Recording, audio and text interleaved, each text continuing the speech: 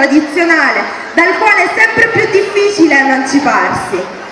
È la crisi che ci priva delle risorse e dell'autonomia necessarie a determinarci liberamente.